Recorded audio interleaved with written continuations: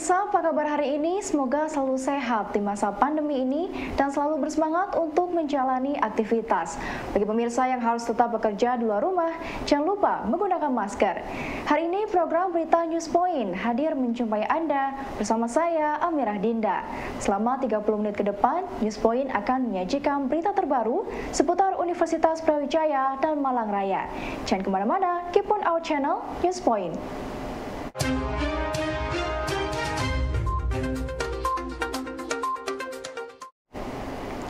Pemirsa, bagi Anda pemilik usaha di luar sana yang ingin mengoptimalkan media sosial sebagai media pemasaran produk atau brand dapat menggunakan jasa yang ditawarkan oleh Kenal.in. Kenal.in akan memberikan jasa mereka di bidang digital marketing dengan optimal agar usaha yang dijalankan dapat berkembang dan mencapai target yang diharapkan, serta bertemu dengan konsumen yang tepat. Anda yang membutuhkan jasa Kenal.in dapat langsung menghubungi media sosialnya Salah satunya di Instagram dengan username @kenal.in.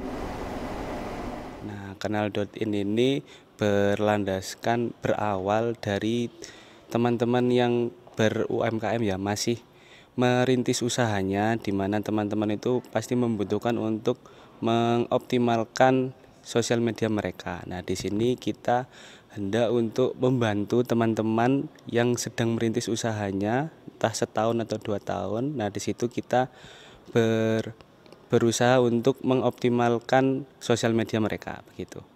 Ya di sini saya memiliki tim yang berat ber, bertiga orang, di mana itu teman-teman saya sendiri untuk bermitra dengan studio 14 14 studio di situ kita bekerjasama dengan 14 studio ini untuk menghandle yang semua foto-foto itu tersebut gitu Pak. Nah, jasa di sini kita di awal ada desain konten, mungkin pertama desain konten ya dan foto produk juga, mungkin ke video profil company juga ada begitu. Ya, mungkin dari kuliah Mbak ya kan teman-teman juga mahasiswa di mana teman-teman juga linear dengan ekonomi dan bisnis dan di segi desain juga ada, untuk copywriter juga ada begitu sih Kak. Nah, untuk pesaing jelas banyak ya kompetitor masih banyak sekali. Di Malang pun demikian. Nah untuk bagaimana kita membeda pasti dengan inovasi ya di mana inovasi itu pasti menjadi sebuah pembeda. Nah di sini teman-teman lebih ke mungkin dari fleksibilitas ya fleksibilitas dan harga juga mungkin lebih terjangkau dengan teman-teman yang di mana kita juga tetap riset dan analis tentang desain tersebut. Begitu Nah, karena teman-teman di sini yang kita targetkan adalah pemilik usaha, jadi lebih B2B ya, bisnis to bisnis. Jadi kita lebih banyak mempromosikan ke sosial media mereka kita tawarkan mungkin kalau ada di Instagram kita tembak ke Instagram ataupun lebih ke website email juga ada mungkin seperti itu Mahasiswa Perbankan Vokasi UB telah mengikuti seleksi penerimaan calon mahasiswa didik dengan syarat tambahan, yakni berpenampilan menarik. Berpenampilan menarik yang dimaksud ialah mahasiswa harus memiliki tubuh yang proporsional seperti yang masyarakat lihat di perbankan. Mahasiswa harus memiliki tinggi badan dan suara yang sesuai syarat untuk bekerja di bank. Eh, saya memang diperbantukan selama ini uh, diperbankan ya, di minat perbankan karena uh, selama ini mungkin lebih ke praktisi ya bahasanya lebih ke praktisi yang belajar yeah, di betul. bidang minat perbankan kenapa seperti itu iya. karena yeah. dari uh, memang kalau bahasa ini yang mau digodok yeah. ya di, diarahkan ke perbankan gitu ya. Yeah. mulai kuliah pun jadi memang di perbankan mungkin ada persamaan dengan prodi yeah. lain juga di MP hmm jadi setiap hari Rabu kalau enggak hari Jumat itu harus pakai batik, harus pakai blazer. Jadi memang beda dengan uh, bidang minat yang lain gitu ya. Karena tadi awal dari awal sudah yeah. digodok untuk diarahkan ke perbankan gitu ya.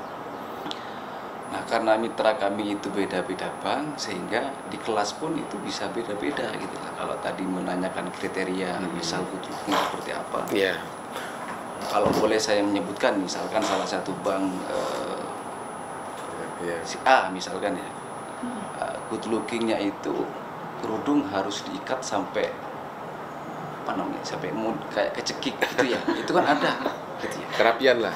Jadi Kerapian. standar standar inilah. ya. standar itunya kemudian yang satunya tidak apa-apa yang style yang berbeda, gitu. gitu ya nah itu dipraktikkan sehari-hari gitu ya. Iya. tergantung ya jelas itu tergantung mata kuliahnya ya Iya. Iya. tapi eh, sejauh yang saya pahami ketika di kelas itu misal model jalannya juga mulai diajari sejak di kelas jadi di frontliner itu kan dilatih tuh mbak dilatih untuk bagaimana cara berjalan kemudian cara menyapa Iya. nah itu di akhir semester biasanya kita kumpulkan bersama di lab yang ada di yang milik vokasi itu Mini bank ya. Kita punya mini bank.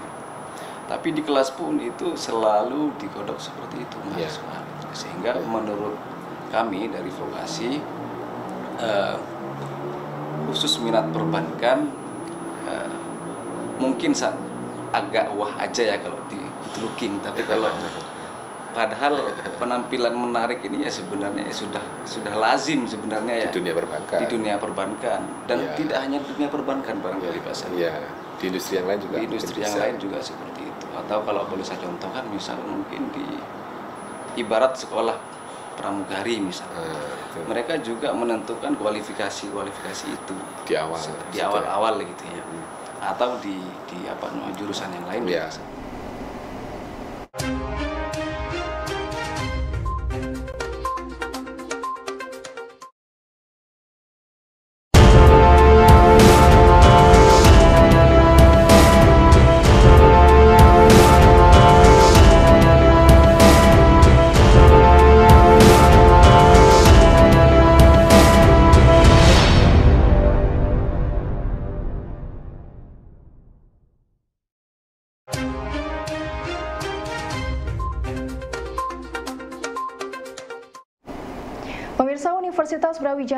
Kali ini bersinergi dengan Kementerian Keuangan dalam pengembangan pendidikan di kampus. Salah satunya dengan membuat Teaching Factory sebagai wadah edukasi mahasiswa dan juga proses improvement pelayanan kepada masyarakat. hargai dari budaya yang berbeda ya budaya-budaya internasional nah kalau kita memiliki sifat seperti itu maka kita akan mudah bergaul dengan siapa saja bergaul dengan masyarakat dunia itu. Ya kira-kira begitu. Dan eh, insya Allah kita akan terus konsisten. Pak Direktur mohon nanti seluruh elemen masyarakat ya dari teman-teman yang ada di sekitar kampus juga. Karena mayoritas kan mahasiswa di kampus ini kan nggak lama. Jadi kalau ada waktu 24 jam mahasiswa kira-kira berapa jam di kampus? ya sekitar 4-5 jam ya kira-kira 4-5 jam di kampus.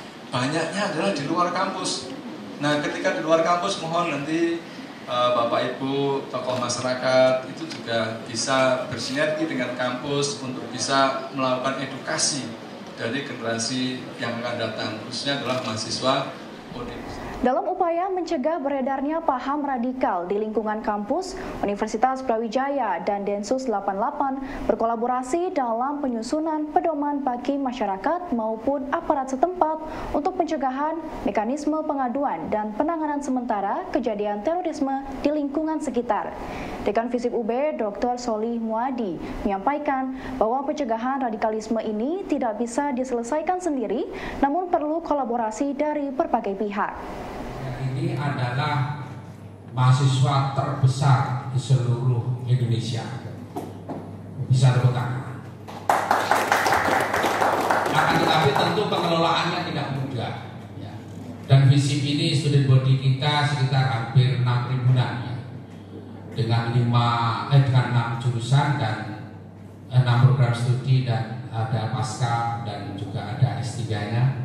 Oleh karena itu kita tidak mungkin dalam kondisi yang demikian itu eh, bers- eh, melaksanakan pencegahan itu dengan sendiri.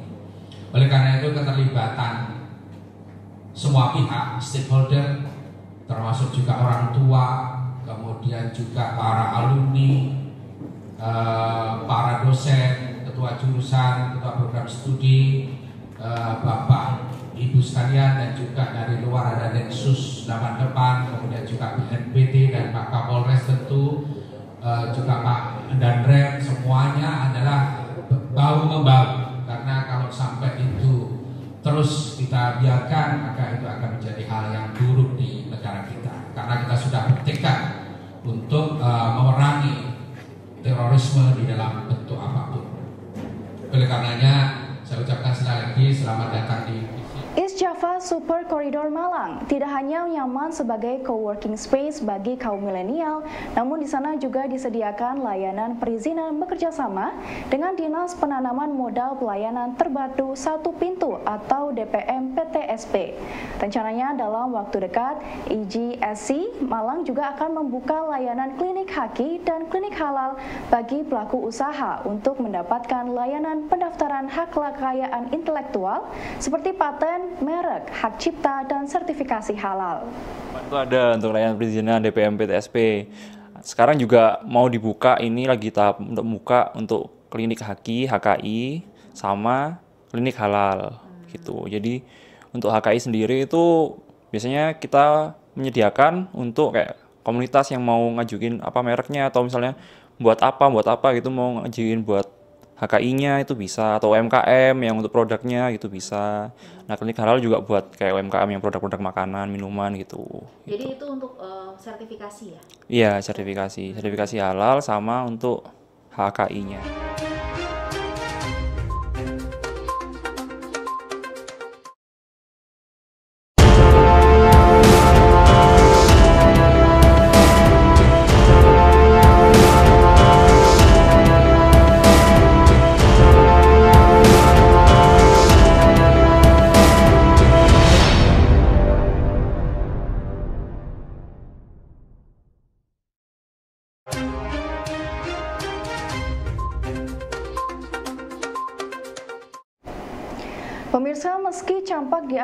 Penyakit yang tidak berbahaya karena sudah terdapat vaksin dan terapi pengobatannya, namun kasus kematian campak masih cukup tinggi.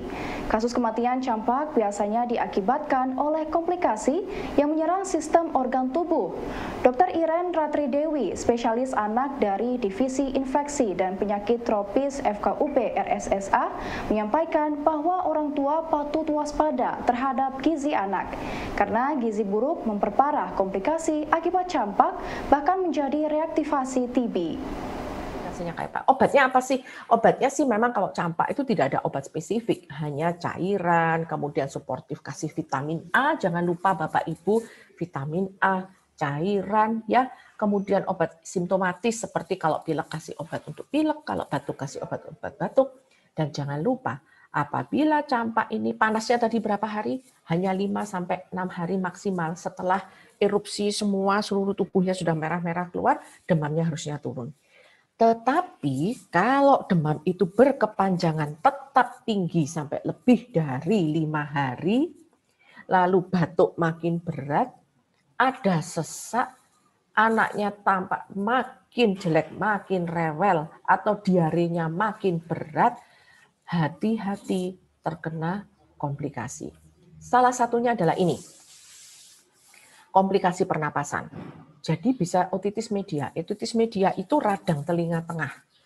Bisa sampai ke belakang, ke mastoiditis. Nah, ini ada grup terakitis. Grup itu terjadi ini, semacam gejala yang terjadi sumbatan jalan napas atas karena ada trakeitis ini. Jadi trakeitis itu jalur saluran napasnya bengkak. Kalau bengkak tentunya udara nggak bisa masuk. Akhirnya seperti tercekik gitu di atas. Kemudian pneumonia atau radang paru-paru. Nah, kemudian komplikasi neuro, neurologi itu saraf. Kalau memang ada tendensi kejang demam, pada saat demam tinggi bisa kejang. Jangan lupa bahwa virus ini dia mengalir ke seluruh tubuh. Salah satunya bisa nyangkut di otak atau encefalitis. Yang terakhir adalah kalau namanya subakut sclerosing panencephalitis itu adalah uh, keradangan semacam autoimun, tapi lambat. Jadi kena campak usia 12 tahun. Wah, itu nanti SSPI-nya bisa 20 tahun atau 40 tahun kemudian. Terutama apabila pada saat dia terkena campak itu cukup berat. Kemudian komplikasi GI tract atau gastrointestinal atau usus diare tadi telah disebutkan. Dan keradangan hampir di semua kelenjar mungkin dia akan terjadi termasuk di appendix, termasuk di hepar atau di liver, di kelenjar pankreas dan kalau ada stomatitis tuh jadi seperti koplik tadi ya di seluruh mulut sampai seluruh uh, saluran cerna di mana saluran cerna ini ada mukosa. Jadi mukosa tuh kayak selaput lendirnya itu itu bisa kena seperti stomatitis ini atau seperti sariawan ini. Jadi bisa dibayangkan kalau seluruh mukosanya kena sariawan, maka diarinya akan makin berat. Anak tersebut juga tidak bisa mencerap semua makanan yang dimasukkan dan tentunya akan sangat berbahaya. Satu lagi, kalau ternyata konjungtivitis atau keradangan di mata, selaput lendir mata itu terjadi sangat berat, bisa sampai ke lapisan kornea kalau kena kornea, ada perforasi, ada becek itu di korneanya, maka tentunya akan menyebabkan kebutaan. Jadi itu namanya infeksi yang oportunistik. Jadi semua ini. Oh, nggak apa-apa. Anak ini biasanya sehat, nggak pernah sakit. Sekali sakit kena campak, kita tidak bisa memprediksi apakah dia akan terjadi infeksi oportunistik atau enggak. Sesehat-sehatnya anak. Jadi kalau melihat seperti ini, maka pencegahan adalah yang terbaik. Jadi bukan menularkan anak itu kepada anak yang sakit. Nih, yang jangka panjang. Ada reaktivasi TB. Loh, anak anak saya atau pasien saya nggak pernah kena TB. Nggak ada yang bilang nggak pernah TB. Karena TB itu bisa diem. Jadi dia dormen, diem-diem aja gitu ya. Nggak kelihatan, dicek darah nggak kelihatan, klinisnya nggak kelihatan. Paling ya kurus-kurus dikit gitulah gitu ya. Kemudian di foto itu juga nggak kelihatan. Tetapi kalau dia kena campak maka TB ini bisa langsung Sekretaris Jenderal Kementerian Keuangan Heru Pambudi menilai bahwa potensi lulusan UP sangat baik dan dapat bersaing dalam dunia industri dan ke depannya dapat menduduki posisi strategis. Heru Pambudi menyampaikan bahwa 722 alumni Brawijaya mengabdi di Kemenku RI. Kolaborasi UB dan Kementerian Keuangan akan menjadi akselerasi dalam menyiapkan SDM profesional di 2045. 22 kata Bu Puspa itu adalah alumni Brawijaya yang sekarang mengabdi di Kementerian Keuangan.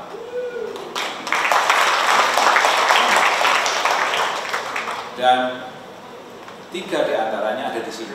Satu, dua, tiga. Ya kan? Empat, ada satu lagi kepala kantor. Lima. Ya kan? E, bagian daripada 722 pegawai.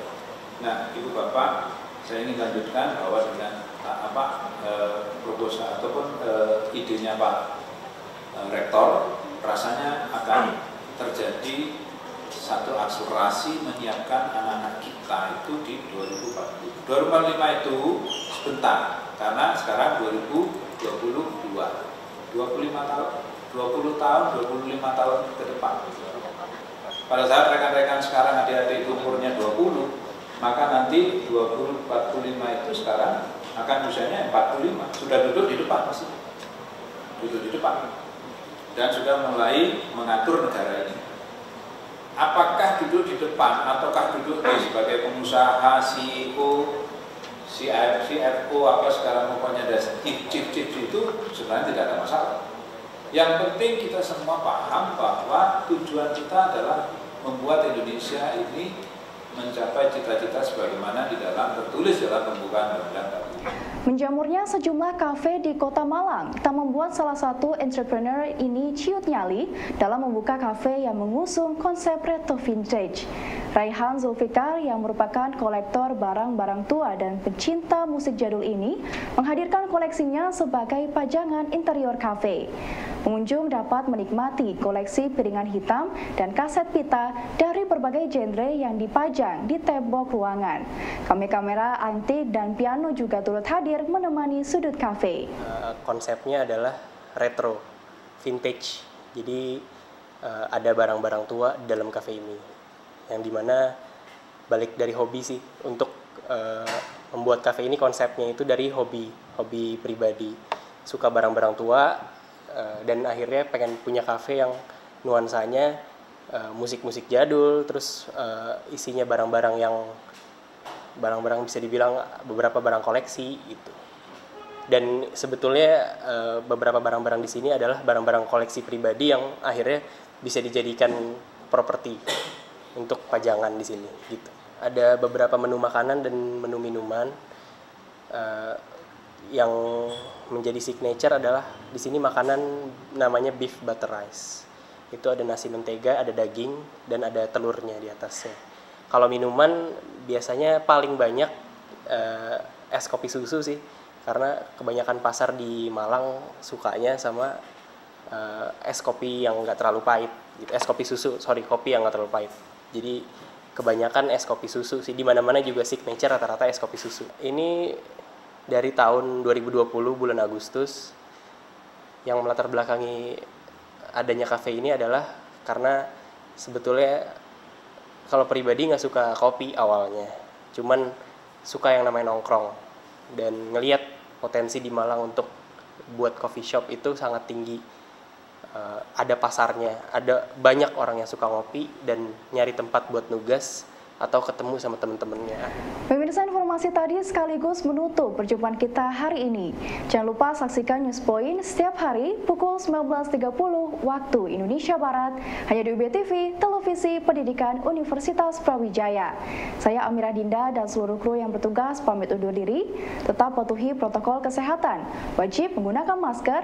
Terima kasih dan selamat beraktivitas.